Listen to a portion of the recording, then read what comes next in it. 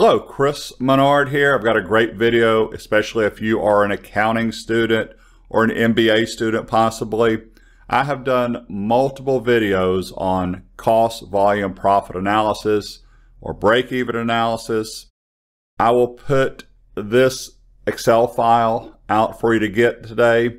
This is from a previous video where I figured out the break-even point with multiple products using what's called a product mix and the break even point, in case you're wondering, is where your sales and your expenses are exactly the same. You're not making any money and you're not losing any money. That is the break even point. We swap over to another file. So the question I had from somebody is, Chris, you're always doing the break even in units. Is there another break even you can do? And the answer is sure. So instead of figuring out in units, which I'll still do in this video, I'm going to do it in sales dollars also. So here is my easy example to start off. We've got a unit that costs $100. It costs us $50 in variable expenses. Variable expenses is anything directly tied to that. For example, direct labor for automobile manufacturers. If I'm hosting a conference, people pay $100 to come to the conference. But for every person that attends, we got to pay for lunch.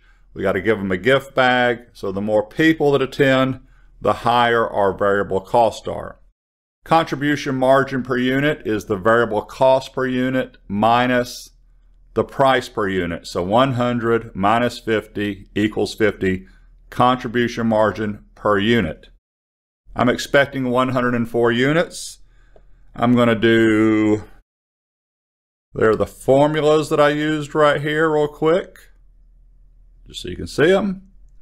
If you notice, there's no Excel functions. It's just this times this or this minus this.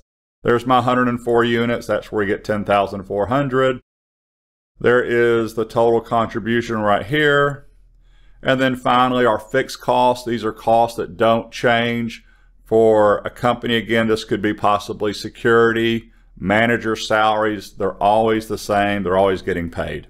So our net income in this example is $1,200. So here's the break even that I always do. What is the break even in units? It is really simple. The formula for break even in units is the total fixed cost divided by the contribution margin per unit. So that is $4,000 divided by the 50 80 units. Let's change this.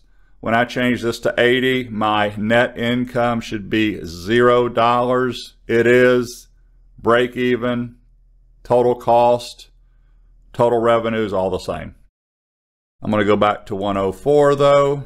So then the next question, here's the question someone asked me. They said, Chris, you're doing it in units. What is the break even in sales dollars? So you still take the, the total fixed cost but you divide not by the contribution margin per unit, you divide by the contribution margin percentage.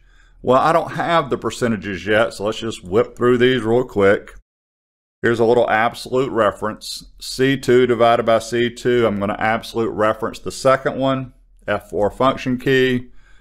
Crosshairs, I'm going to stop right here. And a little tip for you, I'm going to tell Excel to fill without formatting. In case you're wondering what in the world did that do, it kept that bottom border right here under the 50%. I don't want to go and put my borders back in. So 50% is the contribution margin per unit.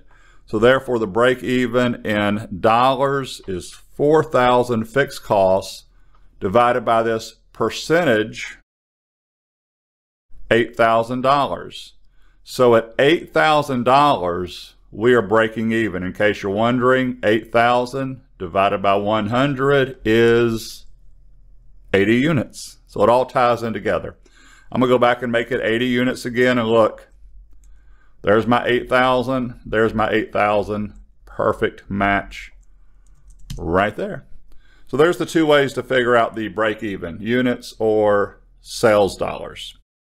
Hope you enjoyed this video. I'll put links to all my other cost, volume, profit, break-even analysis videos where I get into charts, creating those charts. Have a great day. Thank you for your support.